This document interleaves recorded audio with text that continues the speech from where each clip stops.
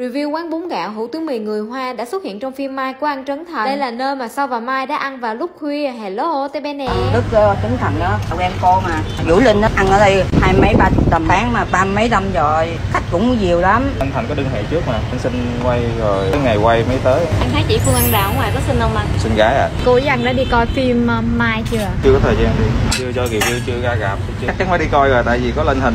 Nghe nói là có quay được uh, vài giây gì đó. Đây là mình truyền thống mà khẩu vị là người của người Quang đó. À, ăn dạ. nó cũng khác mùi. Ăn thử đi ha hai con ha. Trong phim thì Sau gọi cho Mai một tô bún gạo thập cẩm khô. Sẽ có các topping là xá xíu, lưỡi, cợt, bò viên, gan và bao tử nữa mà đặc biệt xá xíu nhà làm nha. Thì tụi mình cũng thử luôn một tô hủ tiếu nước đặc biệt và một tô mì hành thắng khô. Giá dao động từ 50k mà ngoài mì hủ tiếu da và bún gạo thì còn có thêm hủ tiếu mềm. Cô bán cũng được 30 năm rồi chứ không phải là mới đâu. Đây là cái phần bún gạo xuất hiện trong phim đó. Để ý mấy cái món khô ở đây thì không có cái màu đậm đà dầu mỡ như mấy tiệm người Hoa khác. Khi ăn mà người có thể chan thêm miếng nước tương với lại giấm nữa. Loại bún trộn mềm dai dai. Ăn kèm với topping cô cho nhiều dã man luôn, chấm miếng tương ớt sa tế. Tôi để ý luôn nha là gan, cợt, lưỡi heo hay bao tử đều được vệ sinh sạch sẽ nên khi ăn không có bị mùi. Nước lèo cũng ngon nữa, kiểu thanh thanh ngọt ngọt đậm đà. Hàng chi ăn sau gọi cho chị Mai ăn cái này. Thắng khô thì có thêm tóp mỡ, cũng có topping y chang như vậy. Hành thắng là khi nào khắc kem bắt đầu gói rồi luộc, ăn rất là ổn áp luôn, nhân đầy ủ bên trong. Tôi mua hai phần về cho mẹ tôi mà mẹ tôi ăn khen quá trời. Bây giờ mới biết là quán này bán xuyên Tết luôn. Nên hôm nay là cô và ăn sẽ nghĩ đến mùng 11 mới bán lại nha. Với 50 xu cho một tô thì hoàn toàn xứng đáng. Nhiều topping, nước lèo thì ngon. Gia đình cô chủ thì cực kỳ dễ thương nữa. Mọi người ghé thử trải nghiệm nha. Bye bye.